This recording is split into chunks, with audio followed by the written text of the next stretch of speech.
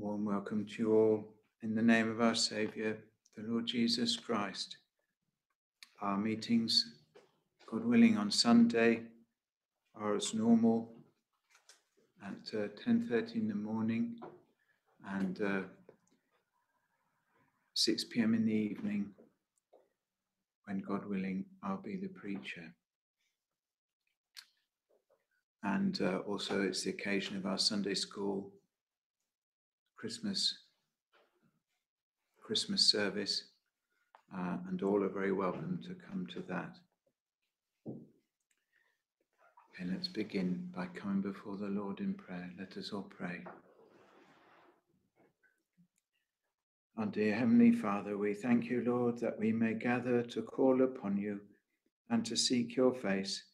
We thank you, Lord, for the privilege we have to come to your holy throne. We thank you for a Saviour who has done everything needful for us, borne our sorrows, lived that perfect life that we could never live. And Lord, we thank you that we are complete in Him. Pardon, Lord, all our many failings, our many shortcomings, our many transgressions uh, of your precious word. And Lord, receive us graciously, pardon us and forgive us, and bless us this night.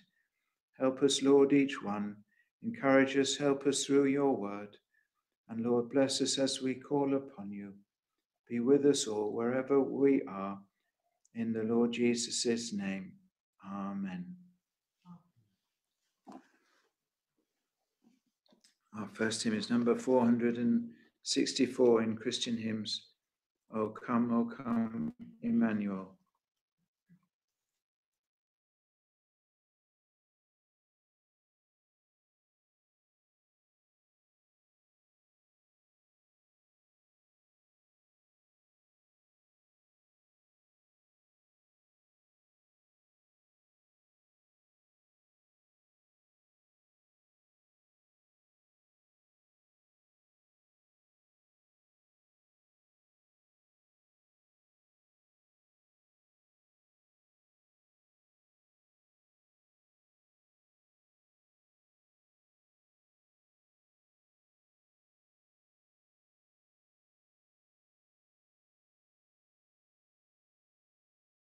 Until the Son of God appear. Rejoice, rejoice, Emmanuel shall come to thee, O Israel. O come, O come, thou Lord of might, who to thy tribes on Sinai's in ancient times didst give the law. In cloud and majesty and Rejoice, rejoice, Emmanuel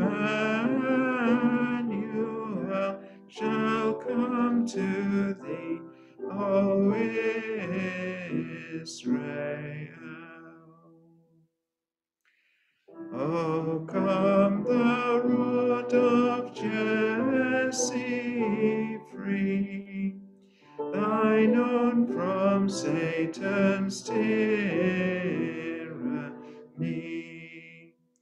From depths of hell thy people save, and give them victory o'er the grave.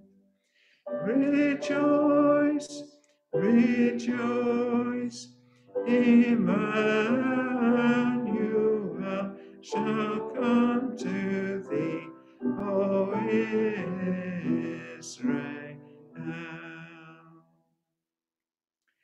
O come thou day spring, come and cheer our spirits by thine advent here. Disperse the gloomy clouds of night, and death's dark shadows put to flight. Rejoice, rejoice, Emmanuel shall come to thee, O Israel.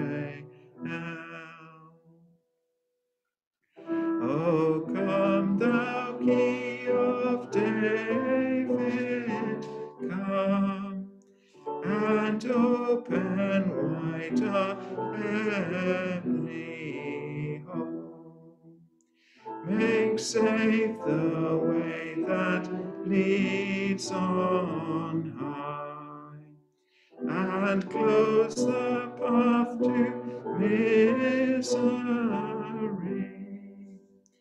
Rejoice, rejoice, Emmanuel shall come to thee, Oh, o Israel.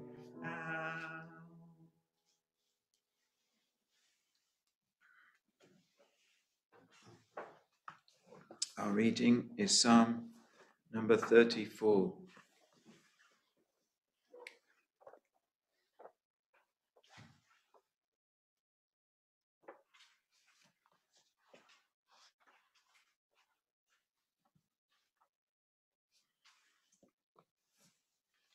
A psalm of David when he changed his behavior before Abimelech, who drove him away, and he departed. I will bless the Lord at all times. His praise shall continually be in my mouth. My soul shall make her boast in the Lord. The humble shall hear thereof and be glad. O magnify the Lord with me. Let us exalt his name together. I sought the Lord, and he heard me and delivered me from all my fears. They looked unto him and were lightened, and their faces were not ashamed. This poor man cried, and the Lord heard him, and saved him out of all his troubles. The angel of the Lord encampeth round about them that fear him, and delivereth them. O taste and see that the Lord is good. Blessed is the man that trusteth in him.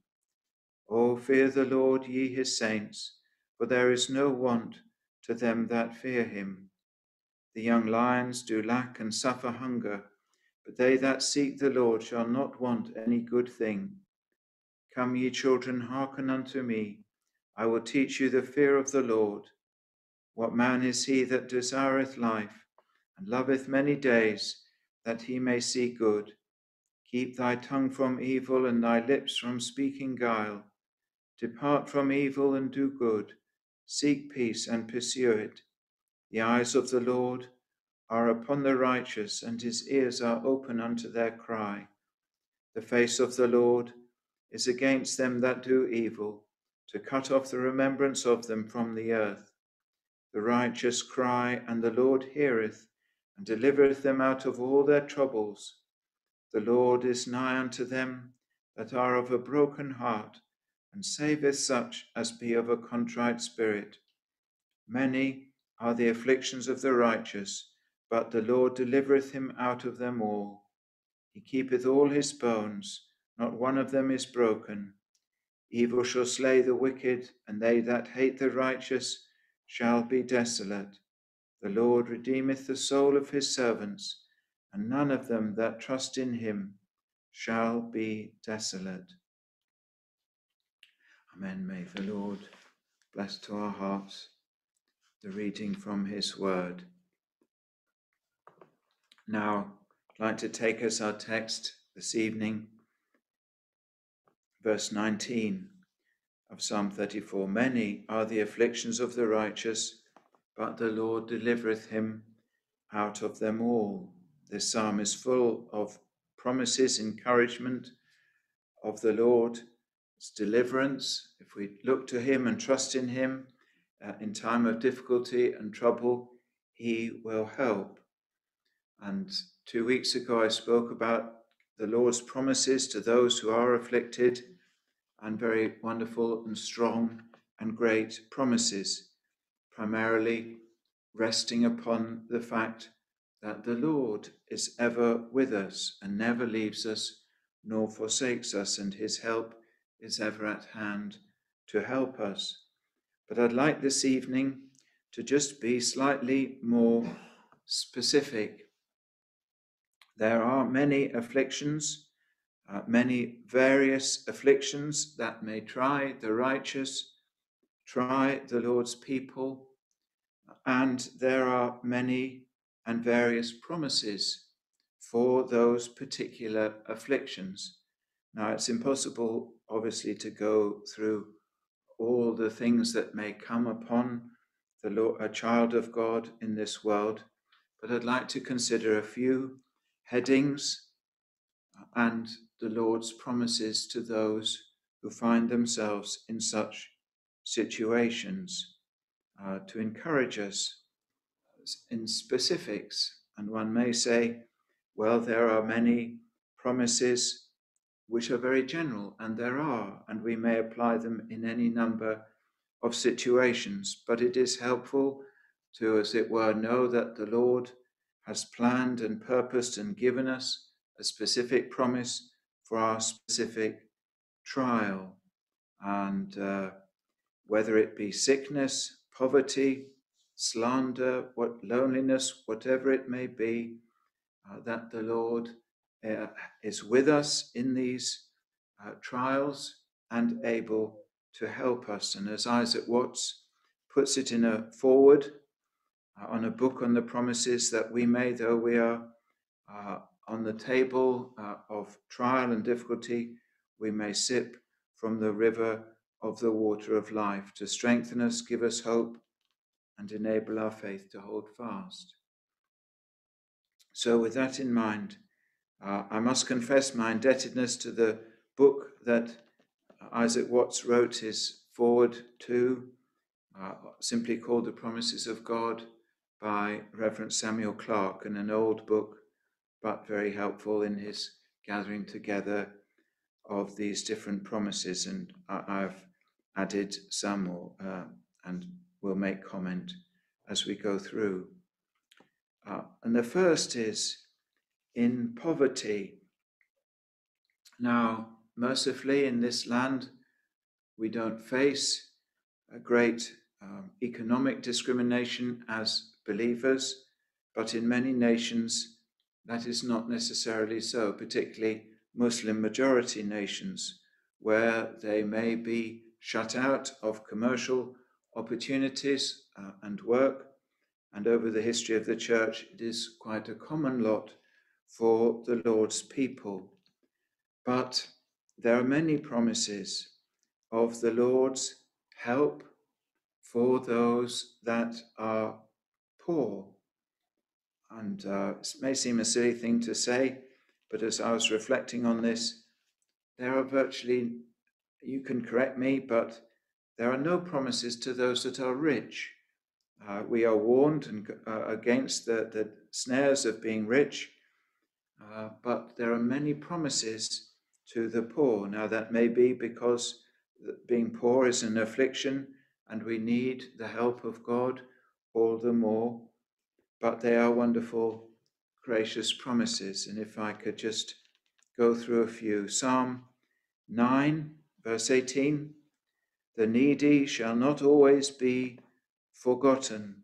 The expectation of the poor shall not perish forever. May seem like they're forgotten at times, but it shall not, they shall not always be forgotten. and the hope, their hope shall not perish.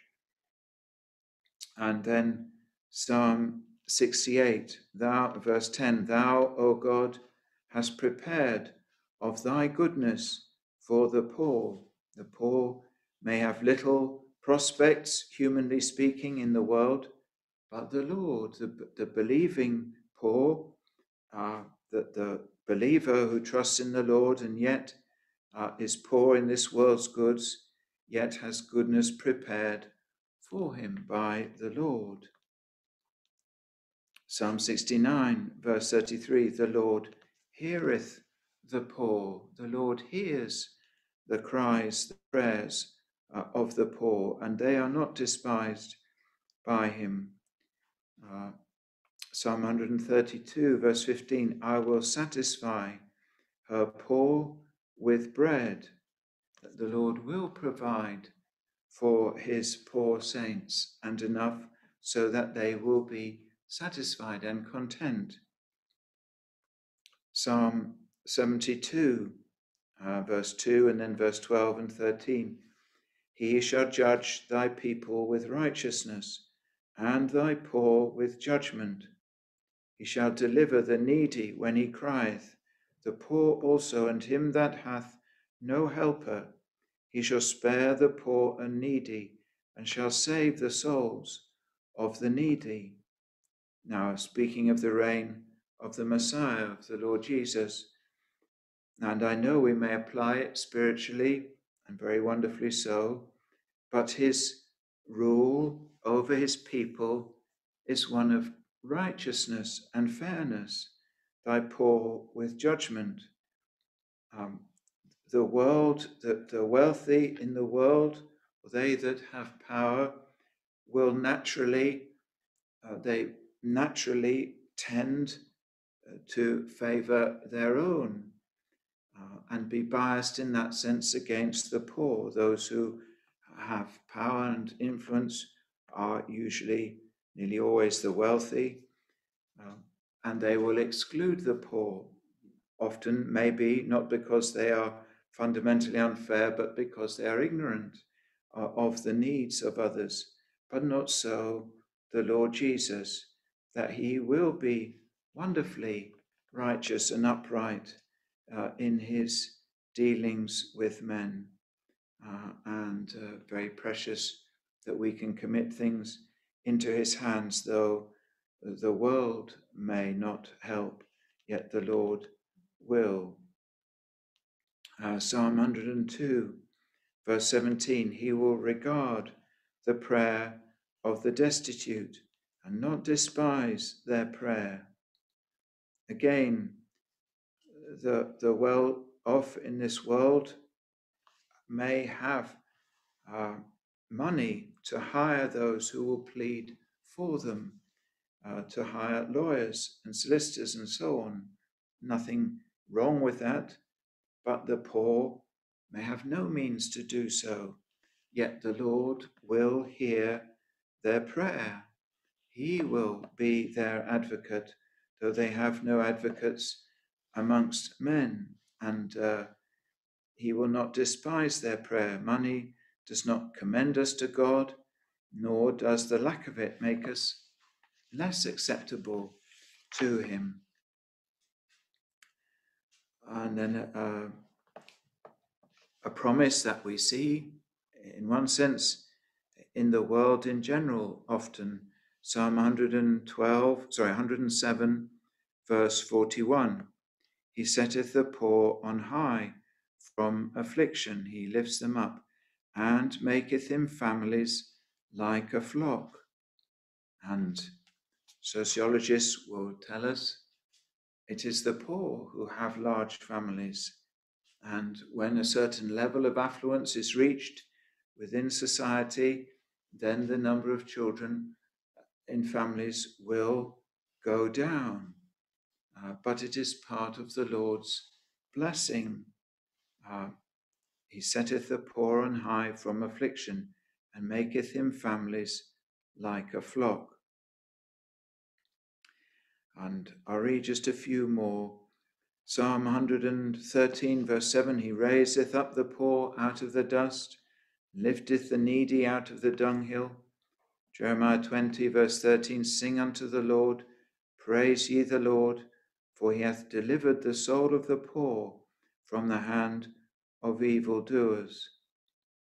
Job 5, verse 15 He saveth the poor from the sword, from their mouth, and from the hand of the mighty. Verse 16 So the poor hath hope, and iniquity stoppeth her mouth. Job 36, verse 15 He delivereth the poor in his affliction, and openeth their ears in oppression. And in the New Testament, James 1, verse 9 Let the brother of low degree rejoice in that he is exalted. And James 2, verse 5 Hearken, my beloved brethren, hath not God chosen the poor of this world rich in faith? and heirs of the kingdom which he hath promised to them that love him. Wonderful commendation. In one sense, the poor believer will more naturally uh, be cast upon the Lord. Their faith will be more naturally strong because they have to look to the Lord uh, and cannot look to themselves or to men. And lastly, uh, and it may seem an extreme uh, situation with the rich man and Lazarus. Luke 16, verse 25 Abraham said, Son, remember that thou in thy lifetime receivest thy good things, and likewise Lazarus evil things. But now he is comforted, and thou art tormented. Now, I know this does not mean that just because we are poor, we will have blessings in the life to come all believers have uh, heaven as their inheritance. Uh, but uh, it is a, a, a, an encouragement that though we suffer as the Lord's children in this world, and we do not have all the things, uh, and not just material things, but the worldly influence or prestige that the world has, or other comforts, pleasures, yet ultimately the Lord will make up for it. And uh, it is a warning, in one sense, not to despise even the most poor in society. Lazarus was a believer and yet was placed, uh, went daily outside the rich man's gate. And uh, there may be I'm not saying one should be sentimental, but there may be folk who are genuine believers who are homeless. A number of them I've met who will carry a Bible around with them, and they may be in difficulties due to mental illness uh, or, or problems out of their own hands. I know there are many who are scoundrels and will manipulate people but there may be, that's all I'm saying. And, uh, uh, but ultimately, the Lord is their help and will deliver them one day from their great trouble.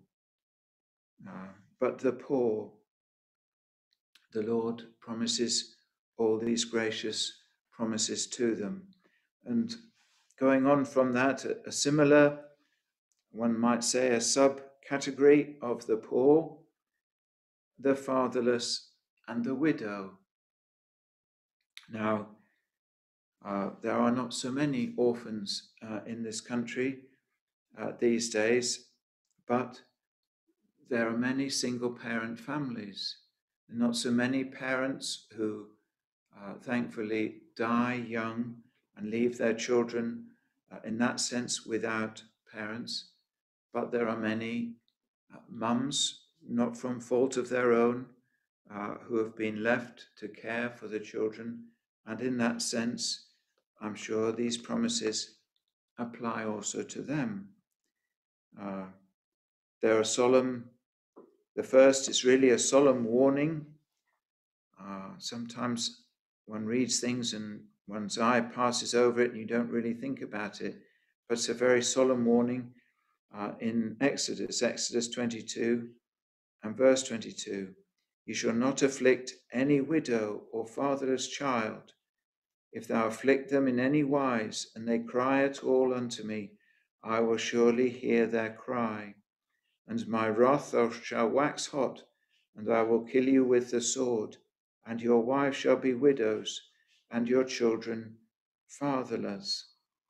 That uh, he will defend them uh, and protect them uh, and he will uh, defend them, though they cannot defend themselves. So they have no father of their own to defend them.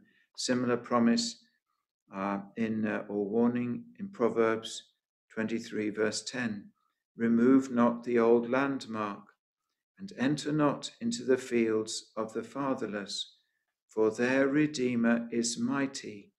He shall plead, meaning argue, as a lawyer does, plead their cause with thee. The Lord will take up their cause, though they cannot.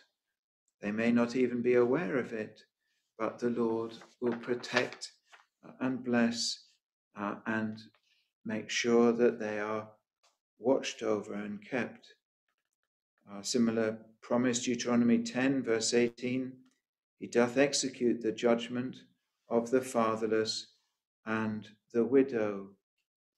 And Psalm 10, verse 14 The poor committeth himself unto thee, thou art the helper of the fatherless, to judge the fatherless and the oppressed, that the man of earth may no more oppress.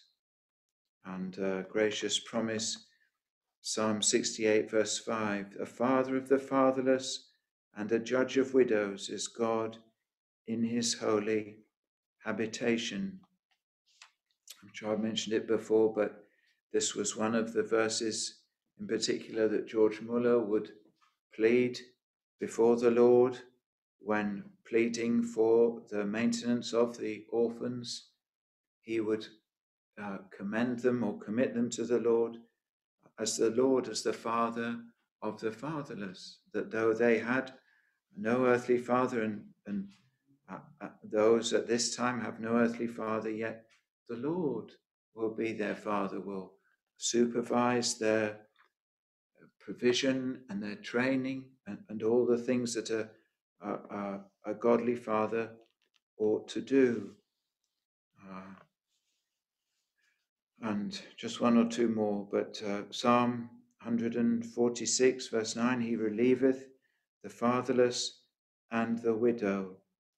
And Psalm, sorry, Proverbs 15, verse 25 The Lord will destroy the house of the proud, but he will establish the border of the widow. He will protect and maintain the house and the uh, farm of the widow.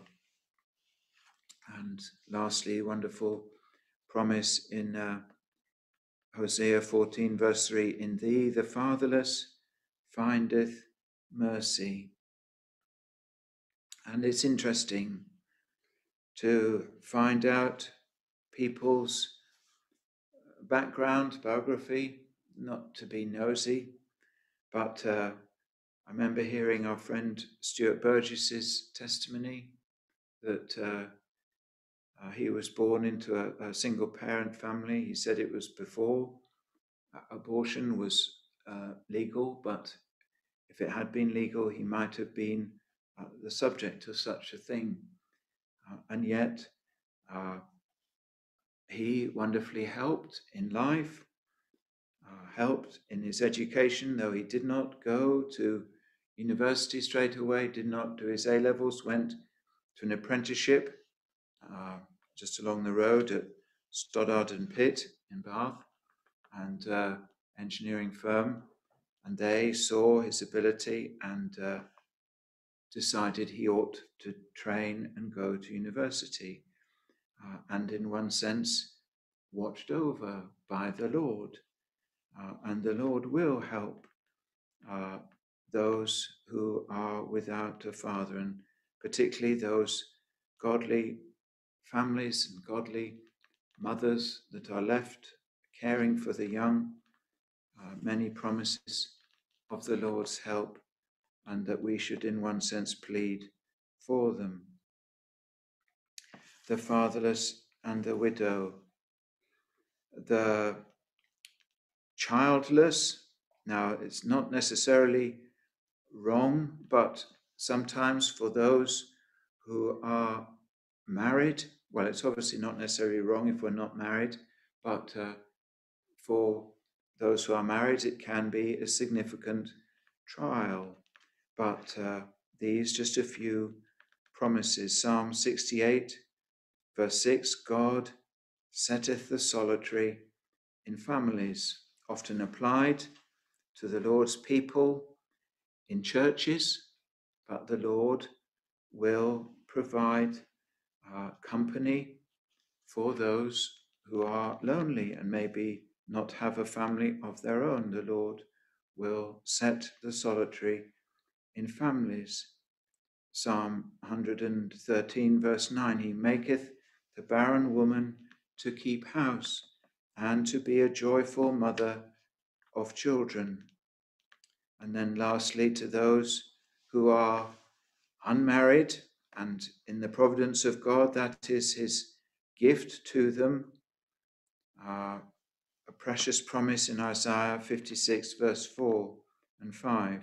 Thus saith the Lord unto the eunuchs that keep my Sabbaths and choose the things that please me, and take hold of my covenant, even unto them will I give in mine house and within my walls a place and a name better than of sons and of daughters, and I will give them an everlasting name that shall not be cut off, though they may, in earthly terms, not have any uh, children, yet they will have a wonderful everlasting name from the Lord and a place amongst his people, uh, a name uh, and honor amongst his people. But going on, uh, now, I know I can't cover everything, but I must speak of sickness. Because although I don't believe there is an absolute promise anywhere in the scriptures that tells us we will never be sick uh, in this earthly life if only we had enough faith we would not die otherwise if that were so uh, to put it simply. Uh, but the lord has given us promises of healing uh, and of help and above all, that as he has taken the sting out of death, so he has taken the hurt out of sickness. And we are in his hands. We will not be sick unless he wills it. Uh, and if he wills it, it will be for our good. And uh, just a few, usually with the condition that if we serve him and keep his commandments, he will preserve us from sickness.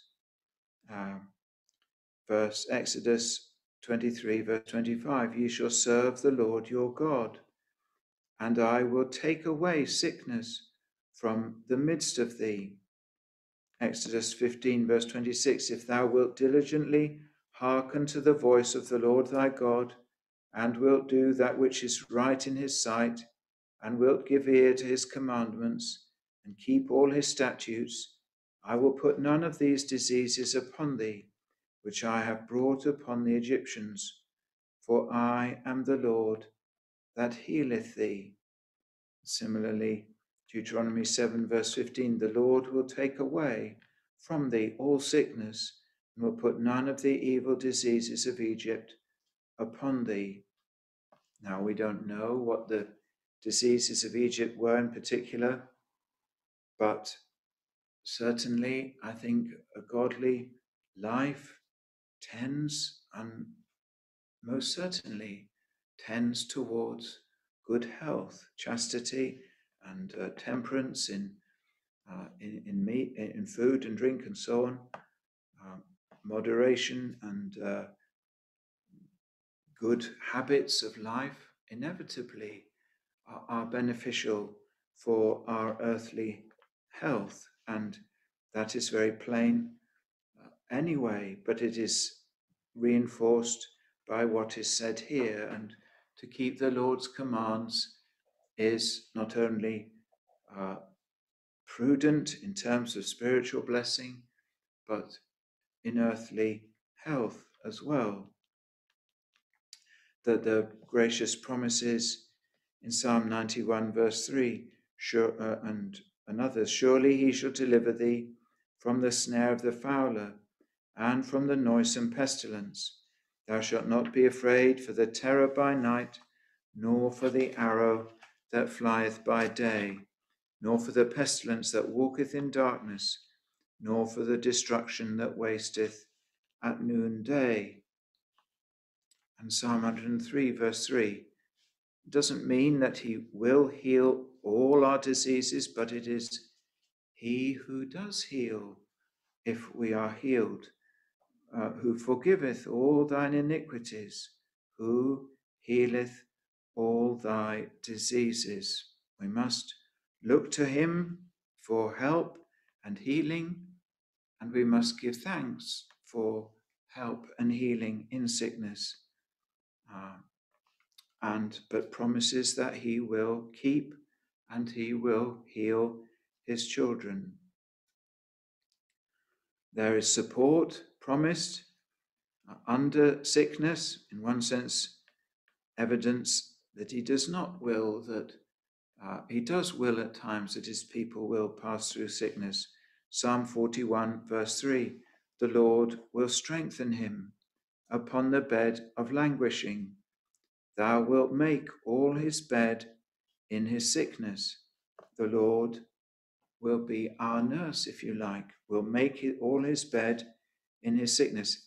It is, if you look it up, Psalm 41, it is in a measure conditional upon caring, showing some kindness to the poor, but a precious promise that the Lord will help and lift up, strengthen upon the bed of languishing, and bring them out of their sickness and a, a more general promise, Psalm 116, verse 6 The Lord preserveth the simple.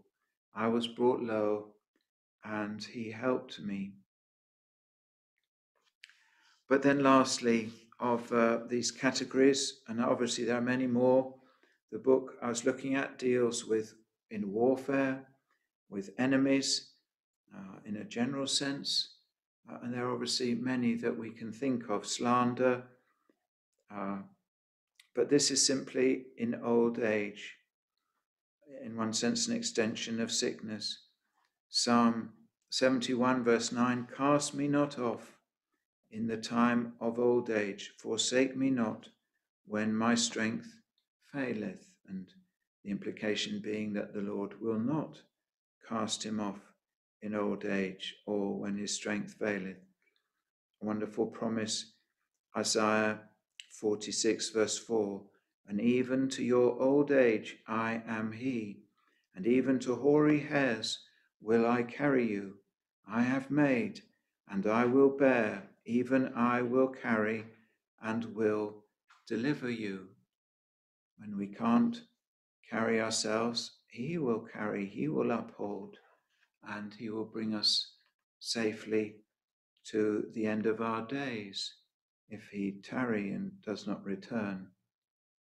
And uh, Proverbs 16, verse 31 the hoary head is a crown of glory if it be found in the way of righteousness. And lastly, 2 Corinthians 4, verse 16 though the outward man perish, the inward man is renewed day by day. Certainly, we must grow old we will grow old, uh, but the inward man is renewed day by day. And very precious old saints, the old worldling may often be bitter and angry uh, uh, and frustrated, but the old saint is cheerful. They're not without their burdens, outward burdens, but inwardly cheerful, trusting in the Lord, a great encouragement to younger believers. And one must say, why does the Lord leave his people in this vale of tears to sometimes great age? I'm sure one of the principal reasons is to show his faithfulness and to show younger believers that he is able to keep and will keep and help us if we put our trust in Him.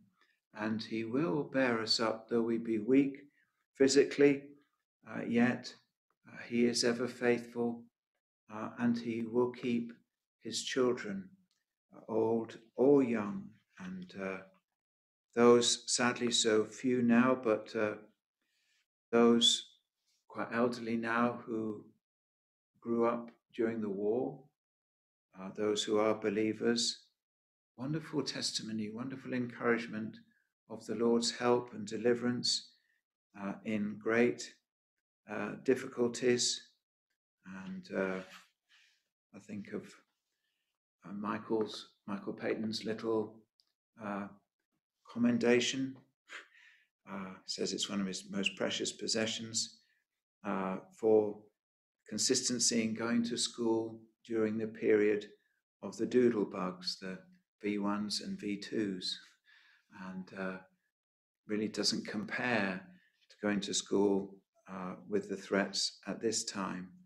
But uh, anyway, these promises given to us, many others, uh, and to encourage us to be courageous, to bear up, to put our trust in the Lord in whatever we may face, remembering that the Lord is ever with us and if we can remember specific encouragements for specific trials, so much the better. But there are many, as we considered two weeks ago, that apply to all difficulties uh, and all trials.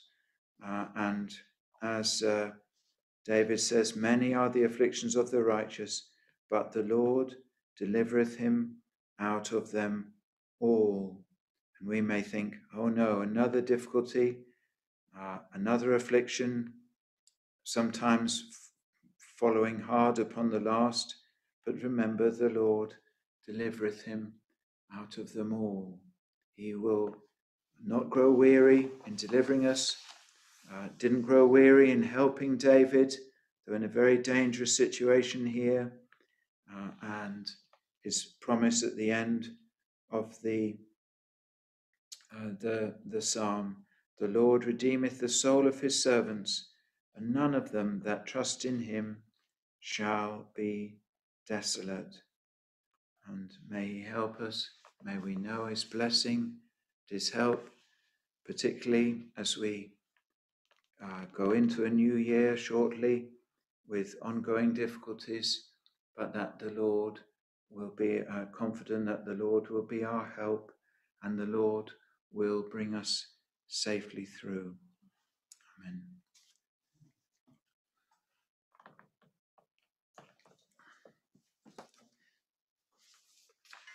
Now, our second hymn is number 591 by John Newton. Why should I fear the darkest hour?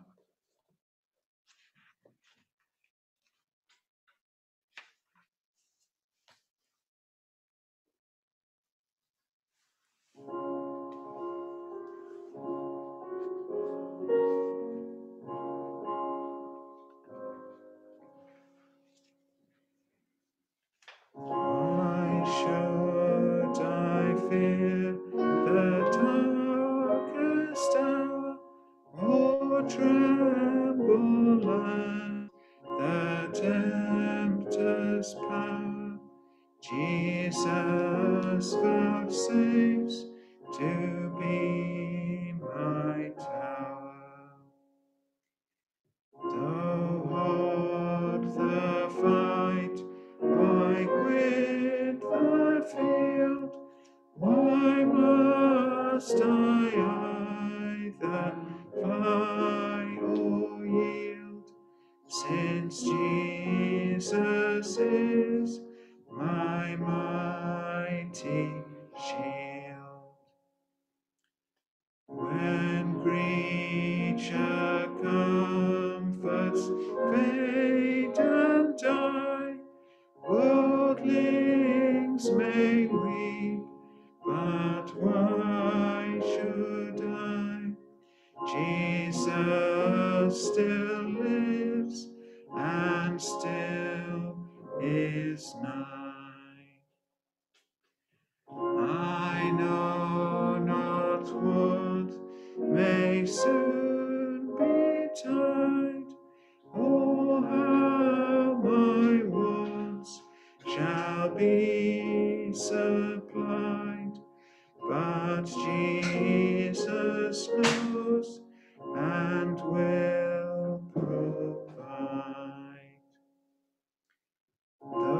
Though